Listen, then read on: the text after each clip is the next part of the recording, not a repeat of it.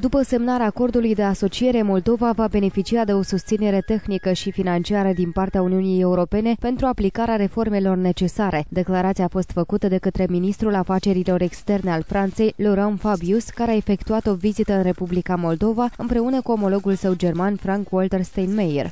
În același timp, premierul Iurie Leancă a menționat că prezența ministrilor la Chișinău reprezintă o reconfirmare a susținerii pe care o acordă UE, agentei europene și transformărilor pe care le întreprinde guvernul de la Chișinău.